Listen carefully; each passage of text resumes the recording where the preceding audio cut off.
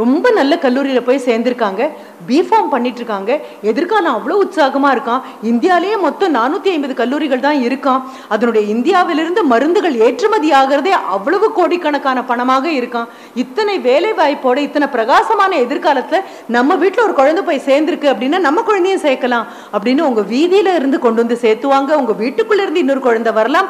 உங்கள் ஊர்லேருந்து வரலாம். உங்கள் கிராமத்துலேருந்தும் வரலாம். ஆக இவ்வளவு அழகான ஒரு பாதையை யாரும் தேர்ந்தெடுக்காத பாதையை அடிமனதில் அச்சமும் இருந்தாலும் ஐயோ இது எப்படி இருக்குமோ அப்படின்னு இருந்தாலும் உங்களுடைய ஆர்வத்தின் காரணமாக உங்களுடைய நம்பிக்கையின் காரணமாக இவ்வளவு அழகான ஒரு கோர்ஸுக்குள்ள வந்திருக்கீங்க அப்படின்னா உங்களுக்காக நீங்களே ஒரே ஒரு தடவை கை தட்டிக்கோங்க. கை தட்டிக்கோங்க. எவ்வளவு பெரிய விஷயம். நாங்க இருக்கும்போது இந்த மாதிரி எந்த கோர்ஸும் கிடையாது. ஐயா எவ்வளவு அழகா சொன்னாரு. நான் முதல்ல தொடங்கும் பொழுது எனக்கு இப்படி ஒரு கோர்ஸ் இதை பத்தி நம்பிக்கையே இல்லை. ஹெல்த் சயின்சஸ் அப்படின்னு ஒன்று ரெண்டையும் ரெட்ட குழந்தைங்க மாதிரி பிறந்திருக்கு. இப்படி ஒன்று கொண்டு வரணும் அப்படிங்கிறதுக்கு இரண்டாயிரத்தி பத்தொன்பது வரைக்கும் காத்திருக்க வேண்டியிருந்து அதுல அஃப்கோர்ஸ் உங்க கல்லூரியுடைய முதல்வரும் திரு செந்தூர் பாண்டியன் டாக்டர் அவர்களும் இவங்க ரெண்டு பேரும் சேர்ந்து ஒரு உத்வேகம் கொடுக்க இந்த வெற்றி கோட்டுக்கிட்ட வந்து நிற்கும் பொழுது என்னாகும் தெரியுமா? நம்மள அறியாம கால் நின்னு போயிடும் பின்னால வந்து யாராவது ஒரு உந்து உந்தினாங்கன்னா தான் இந்த வெற்றி கோட்டை தாண்டி உள்ள போவோம். அப்போ ரெண்டு பேர் வந்து ஒரு உந்து உந்தி இருக்காங்க தாண்டி வெளியில போயாச்சு. இங்கே வந்து உட்காந்துருக்கும் பொழுது நான் திரு டாக்டர் சார்ல்ஸ் அவர்களோட பேசக்கூடிய வாய்ப்பும் கிடைச்சிது. அப்போ சொல்லும்பொழுது அவர் சொன்னாரு டிசைன் திங்கிங் இந்த வார்த்தையை இவங்க பயன்படுத்தினாங்க. டிசைன் திங்கிங் அப்படின்னே கொண்டு வந்திருக்கோம் நாங்கள் அதனுடைய அடிப்படை காரணமாக இருக்கிறது எம்பத்தி அப்படின்னு சொன்னாங்க. இங்க இருக்கக்கூடிய நபர்களுக்கு இந்த வார்த்தை தெரியுமான்னு தெரியல. குழந்தைகளுக்கு தெரியலாம். சிம்பத்தி அப்படிங்கிற வார்த்தை நீ கேள்விப்பட்டிருப்பேன் அடுத்தவர்களை பார்த்தா இருக்கக்கூடிய அனுதாபம்னு ஒன்று இருக்கு இல்லையா? இந்த அனுதாபத்தை தான் நம்ம சிம்பத்தின்னு சொல்றோம். ஆனால் எம்பத்தி அப்படிங்கிறதும் அதே குடும்பத்தில் வந்த வார்த்தை தான் ஆனால் அதுக்கு அர்த்தம் என்ன தெரியுமா? யாரோ நம்மளை விட கஷ்டப்படுறவங்கள பார்த்து மனதில் ஐயோ பாவமேன்னு தோணக்கூடியது அனுதாபம். ஆனா என் நிலையில இவங்க இருந்தாலோ இவங்க நிலையில இருந் நான் இருந்தாலோ இதுதானே செஞ்சிருப்பேன் அப்படின்னு யோசிக்கக்கூடிய சகதாபம்னு ஒன்று இருக்கு இல்லையா? அதுதான் எம்பத்தி அது மிக மிக முக்கியமான ஒன்று. அது ஏன் இந்த பார்மசியில் இருக்கிறவங்களுக்கு நான் சொல்றேன். ஏன்னா நீங்க தான் மருந்து கொடுக்க போறீங்க. உங்க உள்ளங்கையில ஓடக்கூடிய ரேகை தான் பல பேருக்கு மருந்தாக மாறப்போகுது. நீங்க லேபில் உட்காந்து இரவும் பகலுமாக கண்டுபிடிக்கக்கூடிய விஷயங்கள் தான் எத்தனையோ நோயாளிகளுடைய நோயை தீர்க்க போறதாக இருக்கு. எனக்கு இடையில இந்த அந்நியர் தினத்துக்காக என்னை கூப்பிட்டிருந்த பொழுது ஒரு மிகப்பெரிய ஒரு மருத்துவர் டாக்டர் லக்ஷ்மி. மருத்துவர் அப்படின்னு சொன்னா மெடிக்கல் டாக்டர் அல்ல. உங்களுடைய தொடர்பு இதே மாதிரி துறை மாதிரியே ஒரு பக்கம் ஒரு பயோடெக்னாலஜி ஒரு மைக்ரோபயாலஜி ஒரு பயோ கெமிஸ்ட்ரி இந்த மாதிரி வரக்கூடிய ஒரு மருத்துவர் மருத்துவராக இயங்குவதற்கு நோயை தீர்ப்பதற்காக பக்கத்தில் இருக்கக்கூடிய இன்னொரு கல்வித்துறையை சேர்ந்த பெண்மணி. அவங்க என்னை அழைத்த பொழுது நான் போயிருந்தேன். அவங்க யார்கிட்ட என்னை அறிமுகப்படுத்தினாங்க தெரியுமா? சின்ன ஆண் குழந்தைகளுக்கு மீறி போனா ஒரு ஐந்து வயதிலிருந்து பதினைந்து வயது வரை இருக்கக்கூடிய ஆண் குழந்தைகளுக்கு என்ன அறிமுகப்படுத்தினாங்க. அந்த குழந்தைகளுடைய அம்மாக்கள் எல்லாம் இருந்தாங்க அப்பாக்களும் இருந்தாங்க. அம்மாக்கள் முகத்துல என்ன சொல்லலாம்? முகத்துல சோகம் இருந்த மாதிரி தெரியல சோகமே முகமா இருந்த மாதிரி அம்மாக்கள் இருந்தாங்க. அப்பாக்கள் முகமும் சோகமாக இருந்தது. அதற்கு மிகப்பெரிய காரணம் என்ன அப்படின்னு சொன்னா அந்த குழந்தைகளுக்கு வந்திருக்கக்கூடிய ஒரு நோய். ஒரு மஸ்கியுலார் டிஸ்ட்ராஃபி அப்படின்னு சொல்லுவோம். டுஷின் மஸ்குலார் டிஸ்ட்ராஃபி அப்படின்னு அதுக்கு பேர். என்ன? நம்மளுடைய தசைகள் இருக்கு இல்லையா? இந்த தசைகளுக்கு அது உருவாகிறதுக்கு ஒரு புரதச்சத்து கண்டிப்பாக வேணும். ஒரு புரோட்டீன் கண்டிப்பாக வேணும். அதெல்லாம் பற்றி தான் நீங்கள் படிக்க போறீங்க. இல்லை ப்ளஸ் டூவில் நீங்க படிச்சுட்டும் வந்திருக்கலாம். இப்போ அது என்ன ஆகும் அப்படின்னு சொன்னால் உங்கள் எலும்புகளோடு இந்த தசைகள் இணைந்து நிற்கிறதுக்கு முதுகு முதுகா இருக்கிறதுக்கு கை கையா இருக்கிறதுக்கு கால் காலா இருக்கிறதுக்கு இறங்குறதுக்கு நடக்கிறதுக்கு நிமிர்றதுக்கு படுக்கிறதுக்கு இது அத்தனைக்கும் உங்க எலும்புகள் இயங்குற அளவே கூட இயங்க வேண்டியது அதன் கூட இருக்கக்கூடிய தசைகளும் தசையின் நான்களும் ஆனா என்ன ஆகும் அப்படின்னு சொன்னா ஆண் குழந்தைகளுக்கு மட்டுமே வரக்கூடிய ஒரு பிரச்சனை. அந்த பிரச்சனை நான்கு வயது வரைக்கும் அந்த குழந்தை மேலும் கீழும் ஓடிட்டு எல்லாம் இருக்கும். அதற்கப்புறம் தடுக்கி தடுக்கி விழ ஆரம்பிக்கும். அதற்கப்புறம் கால்கள் சூம்ப ஆரம்பிக்கும் முதுகு நிமிர முடியாம போகும் குழந்தை எப்பவுமே உட்கார்ந்த நிலையிலே இருக்கும் கைகள் சூம்பி போகும் உடம்புல இருக்கக்கூடிய தசைகள் முழுவதும் உருகி உருகி போற மாதிரி இருக்கும். குழந்தை அந்த சேரோட கதியா ஆயிடும் சூம்பி போயிடும் குழந்தை. இது யார்கிட்ட இருந்து தான் வரும் அப்படின்னு சொன்னா எந்த மரபணுவில இருந்து தான் வரும் அப்படின்னா அம்மாவுடைய எக்ஸ் எக்ஸ் ஃபேக்டர்ல இருந்து மட்டும்தான் குழந்தைக்கு வரும். ஆண் குழந்தைகளுக்கு மட்டுமே வரக்கூடியது. அப்போ ஒரு அம்மாவுடைய முகத்துல இருக்கக்கூடிய அந்த வேதனை உங்களுக்கு புரியுது இல்லையா? ஆரோக்கியமா குழந்தையை பெற்றெடுக்கிறது பெரிய விஷயம். அம்மாவின் மரபணுவில் இருந்து இருக்கக்கூடிய ஏதோ ஒன்று பிரச்சனையாக அவளுடைய ஆண் குழந்தைகளுக்கு வர நான்கு வயது வரை ஆரோக்கியமா ஓடிக்கொண்டிருக்கக்கூடிய குழந்தைகள் நான்கு வயது தாண்டி தடுக்கி விழுந்து தள்ளாடி விழுந்து கைகால்கள் சோம்பி நாற்காலியே கதின்னு உட்கார மீறி போனால் பதினாறு பதினேழு வயது அந்த குழந்தைகள் தாண்டினதே கிடையாது. அந்த அம்மாக்களை தான் எனக்கு அறிமுகப்படுத்தினாங்க. அந்த குழந்தைகளை க சக்கர நாற்காலியில் வச்சுட்டு தள்ளும் பொழுது அந்த குழந்தைகள் எங்கிட்ட சொன்னது என்ன அப்படின்னா எங்களை எங்கள் அம்மா பெரும்பாலும் வெளியிலேயே கூட்டிகிட்டு போக மாட்டாங்க. எங்கள் அம்மாக்களும் பெரும்பாலும் வெளியிலேயே போக மாட்டாங்க. நல்ல ஆடை எங்கள் அம்மா உடுத்தினது கிடையாது. பளிச்சுன்னு சிரித்தது கிடையாது. கண்ணாடியை பார்த்தது கிடையாது. பண்டிகைகள் கொண்டாடினது கிடையாது. எங்கள் அம்மா முகத்தில் மலர்ச்சியே பார்த்தது கிடையாது. ஏன்னா தான் தானே காரணம் இந்த குழந்தை இப்படி உருவாகிறதுக்கு. அப்படிங்கிற பெரும் சோகமே எங்கள் அம்மா முகத்தில் எப்பவுமே இருக்கும். அதுல பத்தாவது ஒரு குழந்தை எழுதி ஐநூறுக்கு நானூத்தி ஐம்பதுக்கு மேல் மதிப்பெண் எடுத்திருக்கு. அந்த குழந்தைக்காக உட்கார்ந்து மதி பரீட்சை வேற எழுதியிருக்காங்க. நாம் அந்த அறிமுகமாகும் போது அதற்கு ஒரு ஐந்து நாள் முன்னால தான் ஒரு பதினேழு வயது குழந்தை இறந்து போச்சு. ஏன்னா அதற்கு மேல அவங்களுக்கு வாழ்க்கை கிடையாது. நுரையீரல் அங்க இருக்கக்கூடிய தசை நார்களும் எல்லாமே கரைந்து உருகி போகும் பொழுது குழந்தைகள் இறந்து போகும். அப்போ நான் சொன்னேன் இது எப்படி இருக்குன்னா? எங்க ஊர்ல மார்க்கண்டே என்ன ஒரு கதை சொல்லுவாங்க. புத்திசாலியாக பதினாறு வயசு வரைக்கும் இருக்கிற குழந்தை வேணுமா? அடிமுட்டாளாக நூறு வயசு வரைக்கும் இருக்கிற குழந்தை வேணுமா அப்படிங்கும்போது தாயும் தகப்பனும் பதினாறு வயது இருக்கக்கூடிய புத்திசாலியான சான்றோனான எல்லோரும் பாராட்டப்படக்கூடிய குழந்தை போதும்னு சொல்லி கடைசி வரைக்கும் அந்த அம்மாவுக்கு நல்லா தெரியும். சிரிக்க கூட முடியாது. பதினாறு வயசுல இந்த குழந்தை போயிடும். பதினாறு வயசுல இந்த குழந்தை போயிடும் அந்த அம்மா பரிதவித்து பரிதவித்து கடைசியில இறைவன் வந்து காப்பாத்தினது கதையில வரக்கூடியது. ஆனா கடைசி நிமிஷம் வரைக்கும் அந்த அம்மாவுடைய டென்ஷன் அந்த அம்மாவுக்கு தான் இருந்திருக்கும். அப்போ அந்த அம்மாக்களை பார்த்து நான் சொல்லும்போது மார்க்கனேயனுடைய அம்மாக்கள் மாதிரி தான் இருக்கீங்க. அப்படின்னு சொல்லிட்டு அவங்களுக்கு நான் இன்னொரு வாக்குறுதி கொடுத்தேன். இது நான் பேசுனது இரண்டாயிரத்தி பதினெட்டுல அந்த குழந்தைங்களை பார்த்து. இரண்டாயிரத்தி பத்தொன்பது பதினொன்றாம் தேதி அக்டோபர் மாதம் உங்களை முன்னால வச்சுட்டு நான் என்ன சொல்ல வரேன் தெரியுமா? இதற்கு ஒரு மருந்து கண்டுபிடிக்க வேண்டிய பெரிய பொறுப்பு உங்க கையில இருக்கு. உங்களால இந்த பதினாறும் பதினேழும் வயதில் இறந்து போகக்கூடிய சூழல் இருக்கக்கூடிய குழந்தைகளை ஏர்லி இன்டர்வென்ஷன் அப்படின்னு சொல்லுவோம். இப்போ டாக்டர் லக்ஷ்மி அதுதான் பண்ணிட்டு இருக்காங்க இரண்டாயிரத்தி இருபதில் இந்த டுசின் மல் மஸ்குலர் டிஸ்ட்ராபி உள்ள குழந்தைங்க டிஎம்டி உள்ள குழந்தைகள் யாருன்னு தமிழ்நாடு பூரா அந்த குடும்பத்தில் போய் கிராமத்தில் போய் கேட்குறாங்க வீட்டில் போய் கேட்டுருக்காங்க இந்த மாதிரி திடீர்னு குழந்தை கை கால் சும்பி போய் ஒரு பதினாறு வயதில் இறந்து போன ஆண் குழந்தைகள் இந்த வீடுகள் எங்கேயாவது இருக்கா? கேட்டு கேட்டுன்னு தெரியாது. அறியாமையில் இருக்கக்கூடிய மக்கள்கிட்ட கேட்டு கேட்டு முதல்லையே கண்டுபிடிச்சு ஏர்லி இன்டர்வென்ஷனுக்குள்ளே வந்து மருந்துகளை கொடுத்து இப்படிப்பட்ட நோயிலிருந்து கொடும் நோயிலிருந்து குழந்தைகளை காப்பாற்றணும்னு அவங்க இறங்கி இருக்கும் பொழுது அவங்கக்கிட்ட கொடுத்த வாக்குறுதி நான் இதுதான் கொடுத்தேன். என்ன வாக்குறுதி? உலகம் இப்போ இன்னும் அழகான இடம். வாழ தகுதியான இடம். இன்னும் பாதுகாப்பான இடம் பத்து வருடங்களுக்கு முன்னால எந்தெந்த நோய்க்கெல்லாம் விடையே கிடையாது மருந்தே கிடையாதுன்னு அச்சப்பட்டு அச்சப்பட்டு நின்னோமோ அந்த இடத்துல எல்லாம் யாரோ நீங்களும் நானும் இப்ப உட்கார்ந்துட்டு இருக்கும் பொழுது உலகத்தினுடைய எந்த மூலையிலேயோ உங்கள் துறையை சேர்ந்த அல்லது உங்கள் துறைக்கு சார்பாக இருக்கக்கூடிய ஒரு பயோகெமிஸ்டோ அல்லது ஒரு மைக்ரோபயாலஜிஸ்டோ ஒரு பயோடெக்னாலஜிஸ்டோ எங்கேயோ உட்கார்ந்து தன்னந்தனியாக இரவு தெரியாமல் பகல் தெரியாமல் வெளிச்சத்தை பார்க்காம சூரியனை பார்க்காம சாப்பிடாம குடும்பத்தை பத்தி கவலைப்படாம அடுத்த வேளை என்ன இருக்கும்னு நினைக்காம ஒரு ஒரு பரிசோதனை கூடத்துல நின்னு எங்கேயோ இருக்கக்கூடிய ஒரு நபருடைய நோயை போக்குவதற்காக தவம் மாதிரி ஒரு மருந்து கண்டுபிடிச்சிட்டு இருக்காங்க அப்படின்னு சொன்னா அந்த நபர் இருக்கிறதுனால மட்டும்தான் உலகம் இன்னும் எந்த விதமான பிசகும் இல்லாம ஓடிட்டு இருக்கு அவருக்காக ஒரு கைத்தட்டுங்க அந்த நபருக்காக. உங்கள் இனத்தை சேர்ந்த ஒரு நபருக்காக. நோய்வாய்ப்படுறது ரொம்ப சுலபம். மருத்துவர்கிட்ட போகிறது அதை விட சுலபம். ஆனா இந்த நோய்க்கு மருந்தே கிடையாது அப்படின்னு ஒரு காலகட்டத்துல மருத்துவர்கள் கைவிட்ட அந்த நோயாளிகள் எல்லாம் இந்த காலகட்டத்துல பிறந்திருப்பார்களே ஆனால் அது கேன்சராக இருந்தாலும் எய்ட்ஸாக இருந்தாலும் எல்லா நோய்க்கும் ஏதோ ஒரு மனித மூளை அதற்காக உழைத்து கொண்டே இருக்கிறது. ஒரு இருபது வருடத்துக்கு முன்னால ஒரு எய்ட்ஸ் நோயாளியை நம்ம பார்த்தது வேற மாதிரி பார்வை. இப்ப இருக்கும் பொழுது என்ன செய்யலாம் என்ன செய்து அந்த நோயாளிகளுடைய குழந்தைகள் அந்த நோயோடு பிறக்கும்போது எப்படி காப்பாத்தலாம்? மரபணுக்கள்ல என்ன விதமான மாற்றங்களை கொண்டு வர முடியும்? ஜெனட்டிக் என்ஜினியரிங்னு வந்தாச்சு. அவங்க எல்லாம் உங்க துணையில் நிக்கிறவங்க. என்ன பண்ண முடியும்? மரபணுக்களை மாற்றம் கொண்டு வர முடியுமா? தாய் தகப்பன் கிட்ட இருந்து சண்டைக்கு போகாம எந்த வக்கீலையும் கூப்பிடாம எந்த கோர்ட்டுக்கும் போகாம அப்படியே வாங்கி கொண்டு வரக்கூடிய உங்களுடைய சர்க்கரை நோயின்னு சொல்லக்கூடிய டயபெட்டிஸ்ல இருந்து ஆரம்பிச்சு அத்தனைக்கும் மாற்றாக ஏதாவது செய்ய முடியுமா? ஏதாவது செய்ய முடியுமான்னு உலகம் முழுவதும் சுயநலத்தோடு ஓடிக்கொண்டு இருக்கும் பொழுது உங்க இனத்தை சேர்ந்த தாய் தகப்பன் கிட்ட சொல்றேன் ரொம்ப பெருமைப்படணும் நீங்க உங்க குழந்தைய கொண்டு வந்து எங்க விட்டுருக்கீங்கன்னு தெரியுமா? கல்லூரி மட்டும் அல்ல அவங்க எடுத்திருக்கக்கூடிய துறையும் அப்படிப்பட்டது.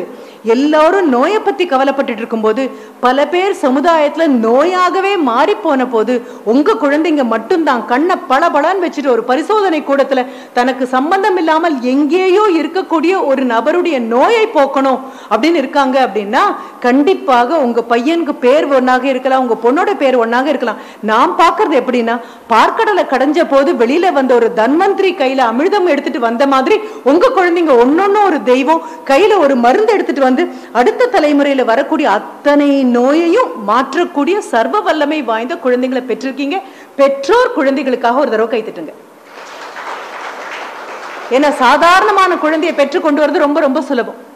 இந்த குழந்தைங்க கிட்ட மறுபடியும் சொல்றேன். இந்த எம்பத்திங்கிற வார்த்தைக்காக தான் இத்தனை முன்னுரை நான் கொடுத்தேன். யாருக்கோ காலில் அடிபடும் போது எனக்கு துடிக்குது. வாடிய பயிரை கண்ட போதெல்லாம் வாடினேன். சரி வாடினதோட போதுமா? அப்புறம் என்ன பண்ணினேன்னு ஒரு கேள்வி இருக்கு இல்லையா? ஐயோ அந்த நோயால துடிக்கிறவங்கள பார்க்கும்போதெல்லாம் எனக்கு வேதனையாக இருக்கு. ஒரு ஒரு ஐசியு தாண்டி போகும்போது கன்னத்துல கையை வச்சுட்டு இருக்கக்கூடிய தாயும் தகப்பனும் விபத்துனால வந்தது வேற. ஏதோ நோயினால வந்த குழந்தை இவ்வளவுதான் கெடுன் மரு அந்த மருத்துவர் சொல்லியாச்சு அப்படின்னு உட்கார்ந்துருக்கக்கூடிய தாயோ தகப்பனையோ உறவினர்களையோ நீங்க தாண்டி போகும்போது சத்தியமா புரிஞ்சுக்கோங்க உங்களுடைய நிழல் தான் அவங்களுடைய மிகப்பெரிய மருந்தாக மாறும். அதுக்கு நாங்க என்ன சொல்லுவோம் தெரியுமா? த ஹீலிங் டச் அப்படின்னு சொல்லுவோம். நோய் தீர்க்கும் தீண்டல் அது. தொட்டாலே நோய் போகும் அப்படின்னு சொல்றது. உங்கள் கையால் எந்த மருந்தை நீங்க கொடுக்க போறீங்களோ எதை உருவாக்க போறீங்களோ அந்த மருந்துனால அந்த நோய் தீர போகுது அப்படின்னா அடிமனதுல உங்களுக்கிட்ட இருக்க வேண்டியது ஆண்டவன் மாதிரி பெரும் கருணை. சாதாரண கருணை கிடையாது. எனக்கு கொடுத்த தலைப்பு அவங்க சொன்னாங்க this is your time it is your time இது உங்களுடைய காலம். நீங்கள் எழுந்து நிற்க வேண்டிய காலம். நீங்கள் ஆட்சி செய்ய வேண்டிய காலம். உங்களால் மாற்றங்கள் வரக்கூடிய நிமிடம் இது.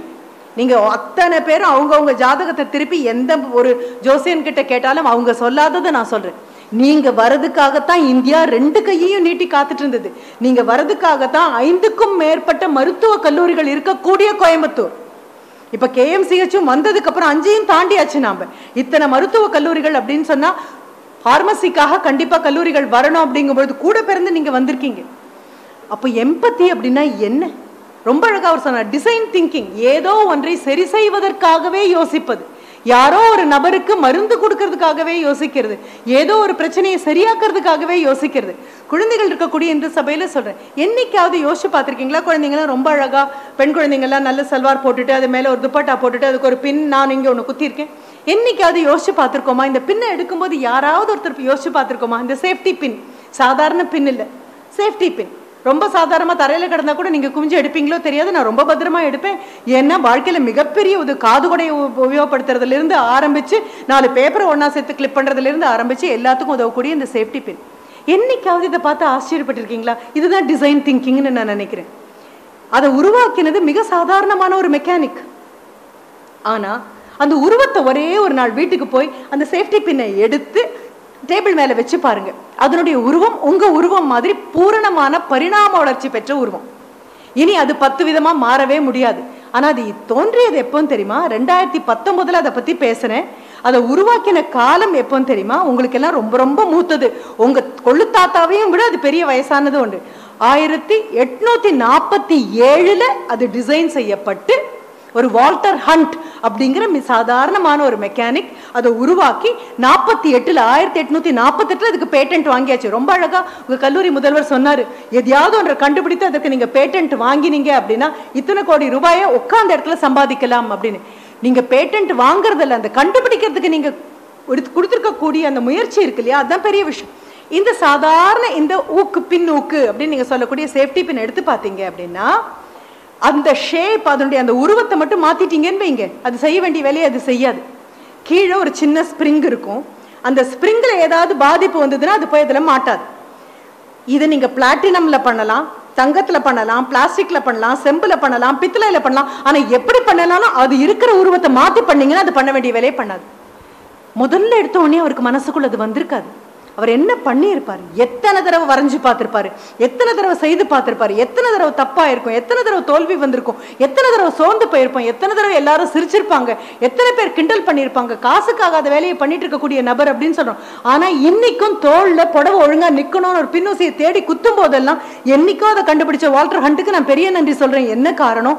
என்னுடைய அன்றாட வாழ்க்கையின் தரத்தை உயர்த்த ஒரு நூறு வருடங்கள் அது எப்படி எயிட்டீன் ஃபார்ட்டி எயிட் இப்போ நம்ம இருக்கிறது டூ தௌசண்ட் நைன்டீனில் இத்தனை வருடங்களுக்கு முன்னால ஏதோ ஒரு மனித மனது வரக்கூடிய அடுத்த தலைமுறையினுடைய தரம் உயர வேண்டும் வாழ்க்கை நிலை உயர வேண்டும் அப்படின்னு உட்காந்து கண்டுபிடிக்குது அப்படின்னு சொன்னா அந்த நபர்கள் தானே உயர்ந்தவர்கள். அவங்க தானே மிகப்பெரிய நபர்கள். நீங்க வீட்டுக்கு சும்மா போய் கொஞ்சம் கிண்டலா பாருங்க. என்ன பார்க்கலாம் அப்படின்னா உங்களுடைய ஸ்டேப்லர்னு ஒன்று வச்சிருக்கீங்க இல்லையா? நாலு பேப்பரை ஒன்னா சேர்த்து அடிக்கிறது. அதுக்கு ஒரு பின் இருக்கும் தெரியுமா? அடிச்சு அடுத்த நிமிஷம் உள்ள போய் இப்படி மடிஞ்சு கையை மடிச்சு உட்காந்துக்கும் இப்படி. அப்படி கையை மடித்தா மட்டும்தான் நாலு பேருமே ஒழுங்காக இருக்கும். வேண்டாம் உங்களுடைய பென்சில் ஷார்ப்பனர் யோசிச்சு பார்த்துருக்கீங்களா என்னைக்காவது? பென்சிலை போய் மூலையிலேருந்து துருவு துருவுன்னு குழந்தைங்க துருவும். தேங்காய் துருவுற மாதிரி துருவிரும். பாதி பென்சிலாக மாற்றிடும் அந்த பென்சில் ஷார்ப்பனரை யார் கண்டுபிடிச்சிருக்க முடியும்? எரேசர்னு சொல்கிறோமே அதை யார் கண்டுபிடிச்சிருக்க முடியும்? கத்திரிக்கோலை யார் கண்டுபிடிச்சிருக்க முடியும்? லேனோட டவின்சி அப்படின்னு இருந்தால் கூட அம்மா பால் பாக்கெட்டை கட் பண்ணுறது வேற கத்திரிக்கோல் நீங்கள் பார்மசூட்டிக்கல்ஸுக்கு வந்ததுக்கப்புறம் உங்களுடைய இணையாக இருக்கக்கூடிய மருத்துவத்துறைக்கு வந்தீங்கன்னா ஒரு சர்ஜன் அறுவை சிகிச்சைக்காக பயன்படுத்தக்கூடிய அந்த கத்திரிக்கோள் வேற மாதிரி இருக்கும். முடி திருத்துறதுக்காக போகும்போது முடியை திருத்தக்கூடிய அந்த பார்பர் அவர் பயன்படுத்துறது வேறையாக இருக்கும். மிக அழகான தோட்டம் போட்டிருக்கீங்க கார்டனர் வச்சிருக்கீங்கன்னு அவர் பயன்படுத்தக்கூடியது வேறையாக இருக்கும். கத்திரிக்கோல் நீங்க சொல்றது ஒண்ணுதான். எத்தனை பரிணாம வளர்ச்சிக்குள்ள போயிருக்கு? அப்ப யாருக்கோ உதவணும்? யாருடைய வாழ்க்கையோ செம்மை அடையணும்? யாரோ பிற்காலத்துல நம்மளுடைய பொருளை சந்தோஷமா பயன்படுத்தணும் அப்படின்னு நினைக்கக்கூடியதுதான் எம்பத்தி அதுதான் அடுத்தவர்களுக்கு இதே சூழல் வரும்போது இதை எப்படி தாண்டுவார்கள்? குழந்தைகள்லாம் ரொம்ப சந்தோஷமா கிரிக்கெட் பார்த்துருப்பீங்க நேத்திக்கும் பார்த்துருப்பீங்க. கிரிக்கெட் பார்க்கும்போதெல்லாம் யோசிச்சு பாருங்க. அப்போ போடக்கூடிய ஹெல்மெட் ஒரு முப்பது வருஷத்துக்கு முன்னால இந்த கான்செப்டே வரலையேப்பா. தலைக்கு ஒரு ஹெல்மெட் போட்டுட்டு கிரிக்கெட் ஆடணும்னு யாராவது கற்பனை பண்ணியிருப்பாங்களா? கண்டிப்பாக கிடையாது. பாடி லைன் சீரியஸ் அப்படின்னு சொல்லி டக்ளஸ் அப்படின்னு டக்லர் ஜார்டின் அவருடைய அந்த பந்து உடம்பு அடிக்கிற மாதிரி வர பந்து வந்ததுக்கு அப்புறம் தலையில பட்டா என்ன பண்றது அப்படின்னு அதுக்காக ஒரு ஹெல்மெட் அவங்க போடுற ஹெல்மெட் வேற. சைக்கிள் அழகாக பயிற்சி பண்றவங்க அவங்க போடுற ஹெல்மெட் வேற. கட்டடம் கட்டக்கூடிய நபர்கள் போடக்கூடிய ஹெல்மெட் கண்டிப்பாக வேற. இரண்டு சக்கர வாகனங்கள்ல நீங்க போட்டே ஆகணும்னு சொல்லக்கூடிய ஹெல்மெட் வேற. எத்தனை ஆராய்ச்சி உள்ள போயிருக்கு. எத்தனை பேர் கவலை? எங்க வீட்டுக்கு சாப்பாடு கிடைக்குதா? எங்க வீட்டுல மழை பெஞ்சா ஒழுகாம இருக்கா? எனக்கு உடுத்துறதுக்கு புடவை இருக்கா? பத்து தடவை மாத்தி மாத்தி கட்டுற மாதிரி ட்ரெஸ் இருக்கா? காலுக்கு போட பகட்டான செ- செருப்பு இருக்கா? கையில மோஸ்ட் ஃபேஷனபிள் பக்கத்துலயும் இந்த பக்கத்துலயும் அந்த பக்கத்துலயும் இல்லாதவங்க அவங்க கையில இல்லாத மாதிரி மொபைல் இருக்கா?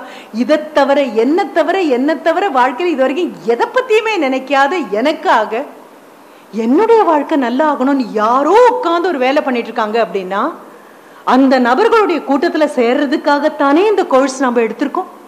இதுதானே மிகப்பெரிய ஊக்கம். இதுதானே எம்பத்தி அப்படிங்கிற வார்த்தை. இது வரைக்கும் நான் சொன்ன எம்பத்தி உங்களுக்கு புரியலைன்னா இன்னும் நான் சொல்கிறேன் உங்க குழந்தைங்க மாதிரியே ரெண்டு குழந்தைங்க. ஆண் குழந்தைங்க ரெண்டு பேரும் நடந்து போயிட்டு இருக்காங்க. ஒரு பாலைவனத்துக்கு வந்துட்டாங்க.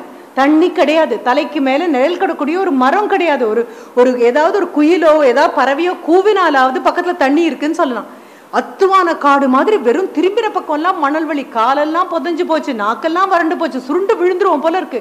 கடவுளே எங்கேயாவது தண்ணி கண்ணில் தென்படுமா அப்படின்னு பார்த்துட்டே வராங்க.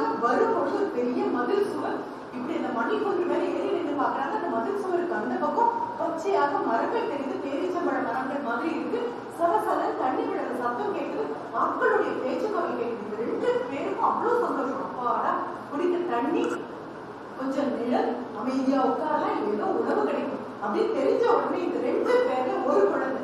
அது உங்க குழந்தையான எனக்கு தெரியாது. கண்டிப்பா இருக்காதுன்னு நினைக்கிறேன்.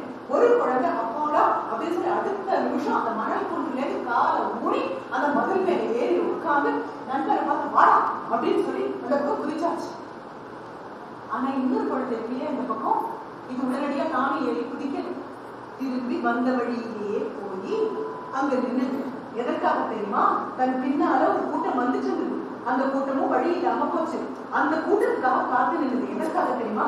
என்ன சொல்லுச்சுன்னா கை கால் ஒழிஞ்சு போய் நாக்கு வறண்டு போய் கண்ணெல்லாம் பஞ்சடிச்சு விழுந்துலே நின்று போது இப்படி பாருங்க இப்படி வந்தீங்கன்னா இங்க ஒரு மதில் இருக்கு.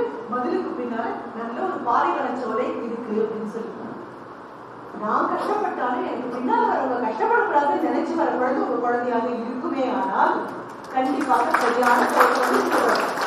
இது என்ன பண்ண நான் சின்ன வயசுல பதினெட்டு வயசுல இருந்தபோது கண்டுபிடிக்காத மருந்துகளுக்கு ஆனா நான் ஒரு முப்பத்தெட்டு வயசு ஆகும்போது பதினெட்டு வயசுல ஏதாவது குழந்தைக்கு இப்படி ஒரு நோய் வறுமையானால் என்னால் அந்த நோய் தீரும். இனி உங்க குழந்தையுடைய கையை கொண்டு போய் கைரேகை பாக்குற யார்கிட்டயாவது காமிச்சீங்கன்னா எங்கிட்ட காமிச்சீங்கன்னா கையை பார்க்காமலே நான் ரெண்டு கையும் உங்ககிட்டே கொடுத்து நான் என்ன சொல்றேன் அப்படின்னா இந்த கை பல நோய்களை தீர்க்க போது இந்த கை பல பேருக்கு உயிர் இன்னும் அதிகம் பண்ணி கொடுக்க போது இந்த கையால உலகம் இன்னும் பத்திரமாகவும் சந்தோஷமாகவும் வாழப்போகுது அப்படின்னு சொல்லு அப்போ நீங்க செய்ய வேண்டிய மிகப்பெரிய உதவி தாய்லாந்துக்கு செய்ய வேண்டிய மிகப்பெரிய உதவி என்ன தெரியுமா? குழந்தைங்களுக்கு வந்தாச்சு. ஆனாலும் நான் கிட்ட கூட சொல்லுவேன் ஒரு லட்சம் ரூபாய் கொடுத்து நீங்க ஒரு மொபைல் வாங்கினாலும் நூத்தம்பது ரூபாய் கொடுத்து சார்ஜர்ல போட்டா தானே உண்டு. நான் ஒரு லட்சம் ரூபாய் கொடுத்து மொபைல் வாங்கியிருக்கேன் அப்படின்னு சார்ஜர்ல போடாம இருக்க முடியாது. ஒரு லட்சம் ரூபாய்க்கு ஒரு சார்ஜரும் கிடையாது. அது ஏதோ சைனா மேக்கோ இந்தியா மேக்கோ எந்த நாட்டுடைய மேக்கோ சார்ஜ் ஆனா சரி அப்படின்னு சொல்லி நான் வாங்கி வைப்பீங்க. அந்த சார்ஜர் மாதிரி இந்த குழந்தைங்க ஒரு லட்சம் ரூபாய் நீங்க கொடுத்து வாங்கியிருக்கக்கூடிய ஆண்டவன் கிட்ட ஒரு லட்சமாவது பணம். தெய்வத்துக்கிட்ட தவம் பண்ணி வந்திருக்கக்கூடிய இங்க உட்காந்துருக்கக்கூடிய அத்தனை குழந்தைகள். என்ன காரணம்? இது சாதாரணமான குழந்தைகள் இல்லை. பாத்திரத்தை கரைஞ்ச போது வந்த தர்மத்தை கையில அமில கலசம் இருந்த மாதிரி கையில மருத்துவத்தை மருந்து தூக்கிட்டு வந்திருக்கக்கூடிய குழந்தைகள். அப்ப நீங்க பண்ண வேண்டியது என்ன தெரியுமா? இந்த நூத்தி ஐம்பது ரூபாய் சார்ஜர் என்ன பண்ணணுமோ அதை நீங்க பண்ணணும். அன்றாட உங்க பக்கத்தில்